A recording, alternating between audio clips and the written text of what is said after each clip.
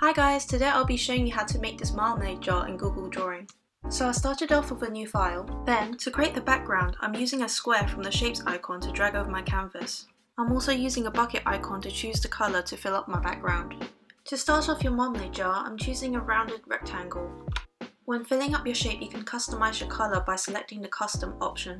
To create the shadow on the jar, I copy and pasted the shape and then filled it in with a darker shade of orange. I'm also keeping in mind to get rid of the border by making the borders transparent on each shape I make.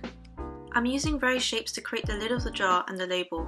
I'm also constantly resizing and adjusting the colour to make sure it's matching my reference image.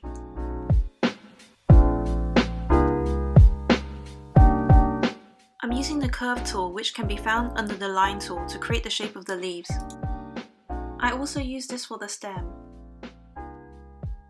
To add texture to the fruit, I used the circle shape which I copy and pasted multiple times and readjusted them at different sizes and angle.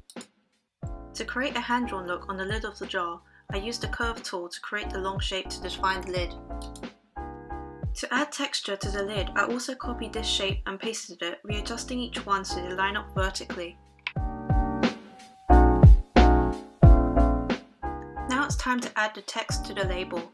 I'm using the curve tool to create each letter and the negative spaces of the A, R and D are also created by creating separate shapes. Then I'm applying each shape onto the label and readjusting the sizes and angles, making sure they are all the same size and look the same font. When I saved this as a JPEG, it came out a bit blurry, so make sure you save this as a PDF as it has a higher resolution.